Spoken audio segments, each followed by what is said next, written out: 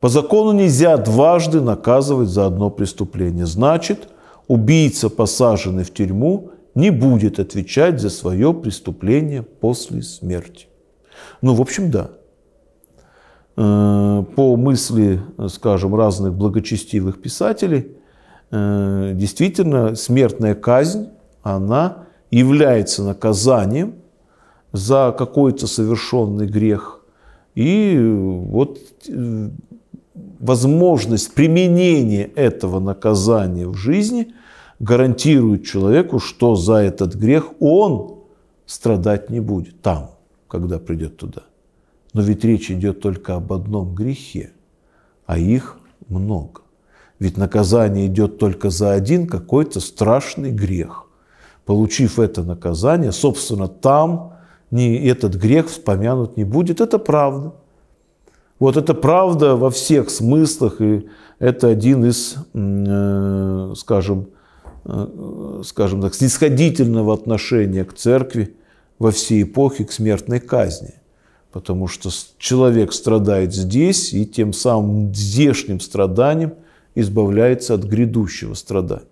Но только в том случае, только в том случае, если он верит во Христа.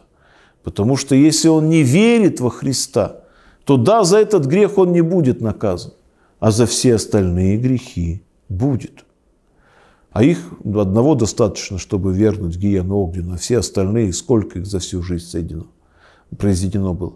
Но если человек верит во Христа, то тогда за эту веру он будет жив, за самый страшный грех он понес наказание здесь, он с верой принял его как наказание, совершающееся здесь, за смертный грех. Он принес исповедь, покаяние за всю свою прошлую жизнь, вот, э, часто даже по, вот, скажем, по русской средневековой традиции причащался, не только исповедовался.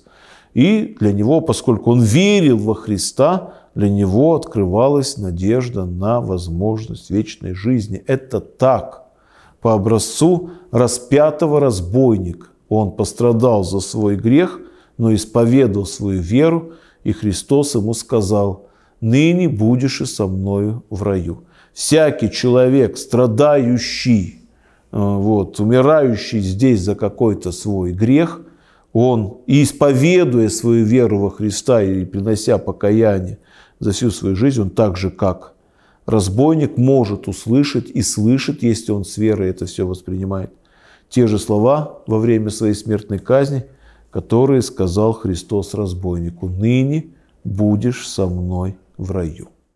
Внеси свой вклад, оцени, подпишись и поделись этим видео.